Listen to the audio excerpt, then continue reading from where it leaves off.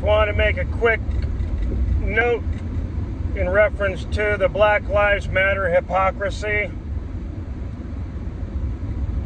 And before you get your panties in a bunch wrapped around a piranha with barbed wire that's starving going up your rectal cavity, all lives matter. We've heard, heard both arguments, but the one thing that hasn't been stated is you don't mess with mine, I won't mess with yours. And the problem is, people are messing with other people's lives.